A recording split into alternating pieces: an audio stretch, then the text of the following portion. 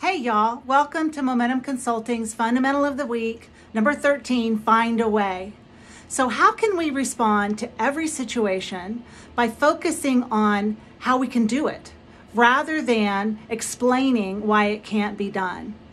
Read the content, there's some links in there. Have a great week and find a way.